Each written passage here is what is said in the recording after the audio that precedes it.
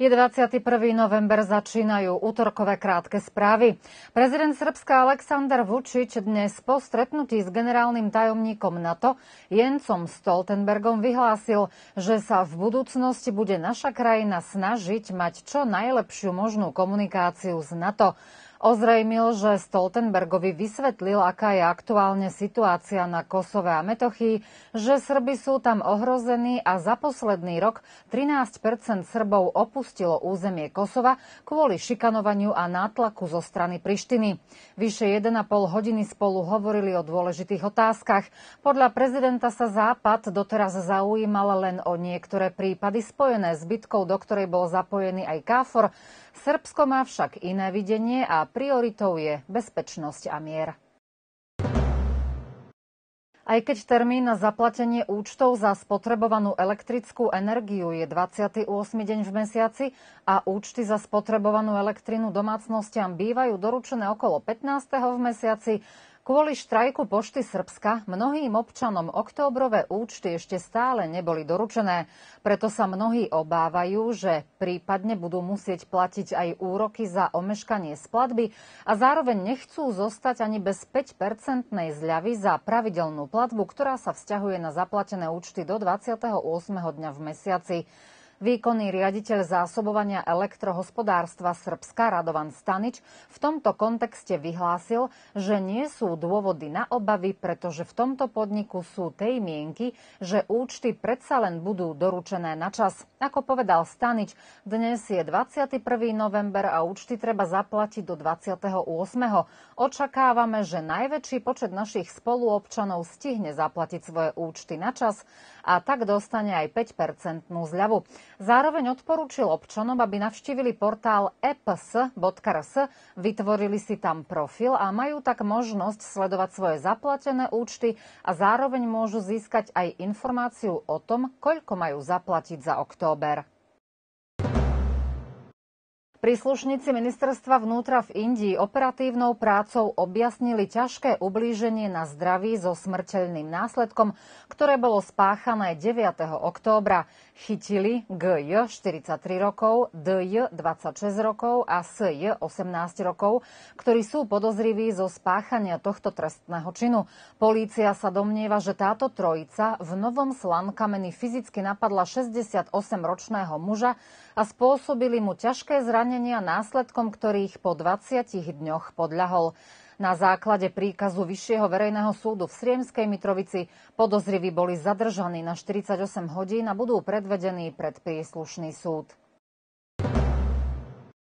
Príslušníci ministerstva vnútra v Indii chytili SA 23 rokov kvôli existencii podozrenia, že sa dopustil trestného činu nedovolenej výroby a držania omamných látok a nedovoleného držania, nosenia a predaja zbraní a explozívnych materiálov. Pri prehliadke jeho bytu polícia našla okolo 73 gramov suchej rastliny, o ktorej sa predpokladá, že ide o marihuanu. Našla sa aj kovová drvička a pištoľ s jedným nábojom. Podozrivý bol za zadržaný na 48 hodín a ďalej bude predvedený pred príslušný súd. Od zajtra 22. novembra od 9. hodiny ráno do 24. novembra rána pracuje sa na digitalizácii centrály Domu zdravia v Starej Pazove a z týchto dôvodov v uvedenom čase nebudú úplne fungovať telefónne linky na centrálu Domu zdravia. Telefónne čísla ambulancií ostávajú funkčné, rovnako funkčné je aj telefónne číslo na rýchlu zdravotnú službu. Pomoc treba volať na čísle 194. Z elektrodistribúcie oznamujú občanom, že zajtra 22. novembra v čase od 9. do 12. hodiny ostanú bez elektrickej energie užívateľia v Novej Pazove. Týka sa to viacerých ulic a presný zoznam ulic, v ktorých zajtra od 9. do 12. hodiny nebude elektrický prúd. Tento zoznam je zverejnený na stránke elektrodistribúcia.rs alebo na stránke rtvstarápazova.rs. Keď sa pozrieme von oknom, počasie nám jasne dáva najavo, že je sezóna kyslej kapusty, ktorá by nemala chýbať v žiadnej domácnosti. Šálka kyslej kapusty splňa dennú potrebu vitamínu C a ide o dôležitý antioxidant, ktorý má zásluhu na spomalení starnutia organizmu, je výborný pri liečení ochorení obličiek a posilňuje imunitný systém. Ako povedala výživová poradkyňa Borislava Skopľaková, kyslá kapusta okrem vitamínu C v sebe obsahuje aj skupinu vitamínov B, K, draslík, vápnik či fosfor, podporuje tvorbu krvi a hormónov, bojuje proti únave, znižuje krvný tlak, pomáha vylúčovať toxické látky No ani s jej konzumáciou to netreba preháňať vzhľadom na to, že spôsobuje plynatosť a aktivuje činnosť čriev.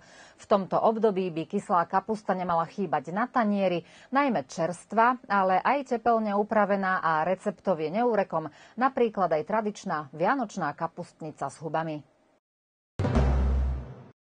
Pokrajinský ústav transfúzie krvi Vojvodiny v spolupráci s Červeným krížom Stará Pazova pozývajú všetkých dospelých zdravých občanov, aby prišli darovať krv.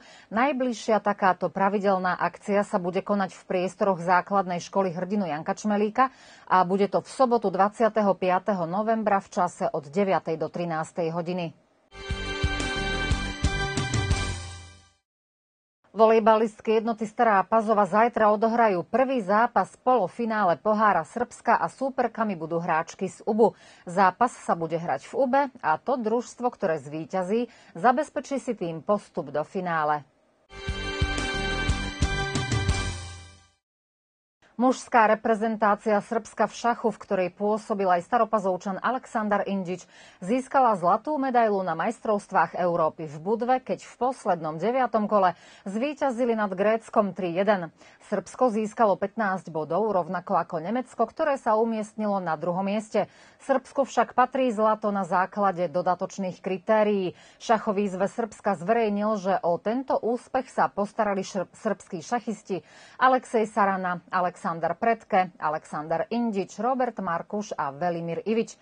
Ženy šachistky v poslednom kole prehrali s Azerbajdžanom 1-3 a na konci sa im podarilo umiestniť na 8. mieste s 11 bodmi. V srbskom šachovom týme boli Teodora Iňac, Adela Velikičová, Marina Gajčinová, Tiana Mandura a Jovana Eričová.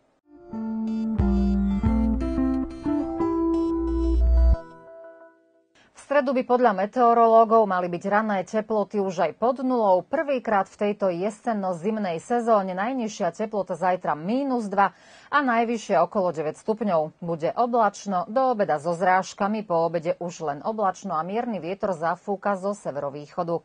A ešte tri mená na záver. Dnes oslavuje meniny Ctirat, zajtra Ernest a Nadia. Útorkové správy končia pekný zvyšok dňa.